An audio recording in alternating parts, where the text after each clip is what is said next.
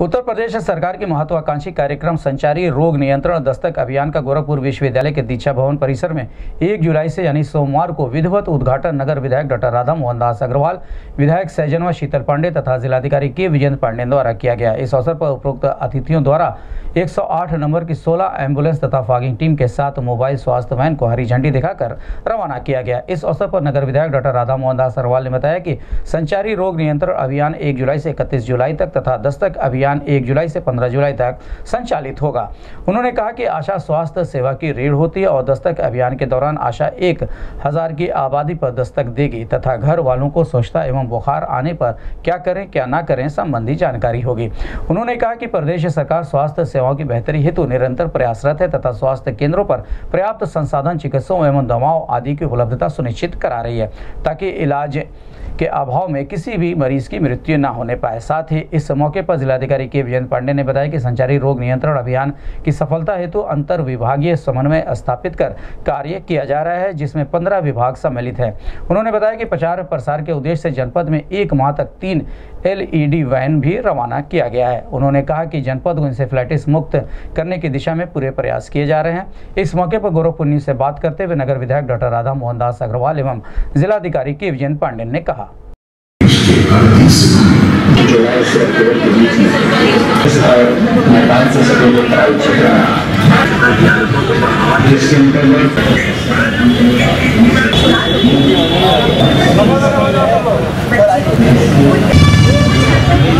सोलह मिली है। क्या है ये सारे दिखा दीजिए क्या है बताइए। में पच्चीस हज़ार बच्चों की जान मिले इसका कोई नहीं इसका एक ही हल है। सिर्फ़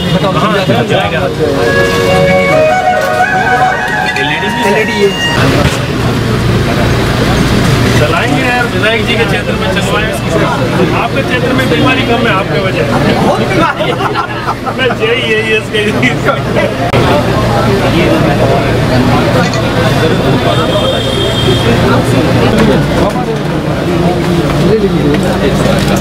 सर, एक सौ आठ हमें सोलह नहीं मिले। बीस मांगे थे, सोलह मिल गई।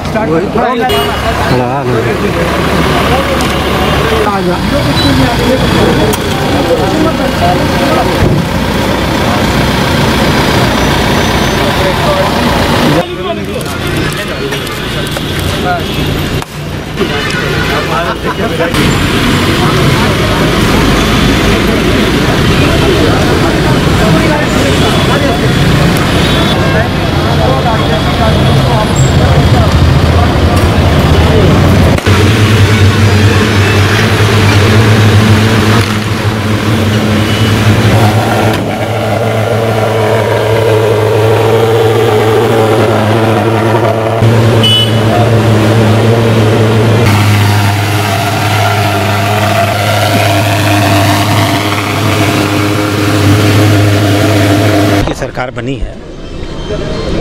हम लोगों ने प्रयास किया है कि जो बीमारी हमारे पूर्वांचल के लिए कोढ़ बन गई थी, उसका समूल नाश करने की। और इसलिए विभिन्न स्तरों पे काम हुए हैं। मेडिकल कॉलेजों को सुधारा गया है। जिला अस्पतालों में आईसीयू बनाए गए हैं। जगह जगह एनआईसी और पीसी, पीकू बनाए गए हैं। और यह व्यवस्था की गई है कि जहाँ भी नागरिक जिस भी गाँव में रहते हैं जिस क्षण उनको यह एहसास हो कि वो ऐसी किसी बीमारी की ओर जा सकते हैं, उन्हें अस्पताल ना आना पड़े, बल्कि अस्पताल उनके नज़दीक पहुँचे। और उसका हम लोग को फ़ायदा मिला है। वो बीमारी जो हर साल तीन हज़ार, चार हज़ार, पाँच हज़ार मरीज़ आते थे और पाँच सौ छः सौ की मौत होती थी।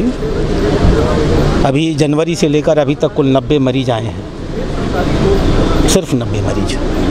और मौत बमुश्किल सात या आठ की हुई है। तो संख्या भी घटी है और मौत की दरें भी घटी हैं। इसलिए कि हम लोग हमेशा कहते थे कि इनके फ्लाइटिस अगर शुरुआती दौर में पकड़ ली जाएगी तो मौत की दर भी घटेगी और विकलांगता की दर भी घटेगी। आज उसी क्रम में दस्तक अभियान का ये इस साल का पहला चरण है, दूसरा चरण है और हम आभारी हैं टाटा प्रशासन के भी। स्वाभाविक रूप से गोरखपुर के जिलाधिकारी सीएमओ के तो हैं ही। इन लोगों ने विशेष योगदान करके टाटा को इस बात के लिए प्रेरित किया है कि गोरखपुर को एक प्राथमिक जिला लेता हुआ, इन्हें एक मोबाइल जिसे अस्पताल कहा जाए, एक मोबाइल अस्पताल ऐसे ज़िले के अलग अलग केंद्रों में रखे जाएँ, इसके लिए हमें विल गुप्त एम्बुलेंसेज दी हैं, जिसमें मरीज़ को रखने की, देखने की, ऑक्सीजन की, जाँच की, पैरामेडिकल की और क्वालिफाइड डॉक्टर्स की। सबकी व्यवस्था है, ये एक बड़ा योगदान है उनका। इसी प्रकार से उत्तर प्रदेश सरकार ने हमें गोरखपुर में सोलह और एम्बुलेंसेज दी हैं, जिनके माध्यम से हम गांव-गांव से मरीजों को, चाहे जिला अस्पताल या मेडिकल कॉलेज जैसा आवश्यक हो, पहुँचाने में सफल होंगे। मैं इन सबके योगदान के लिए माननीय मुख्यमंत्री जी, जो कि स्वयं स्वास्थ्य को लेकर हमेशा जागरूक रहते हैं, गोरखपुर के नागरिकों की ओर से उन्हें आभार प्रकट करता हूँ। और विश्वास दिलाता हूँ कि इस बारी शायद इंकेफ्लाइटिस की कोई खबर अखबार वाले छाप नहीं पाएँगे। इतना नियंत्रित होगा।